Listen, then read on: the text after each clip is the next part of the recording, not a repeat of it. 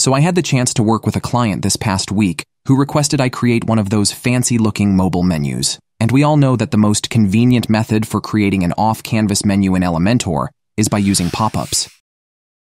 The major problem I noticed with using this dynamic conditioning is that if you have anchor links inside your pop ups, upon selecting or clicking them, which of course responds to the interaction, the off canvas menu overlay always remains open until the user actively closes it.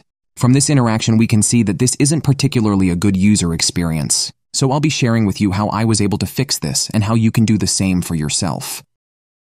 First, let's open up the design canvas we have the pop-up menu created, and let's search and drag the HTML element anywhere within this canvas, but preferably at the top of all other elements. Now copy and paste the code snippet you'll find in the video's description into this field. Upon updating this, refresh your site's web page to confirm the edits. Let me know if this worked for you in the comments, as it helps me know if the code snippet provided is still valid and up to date.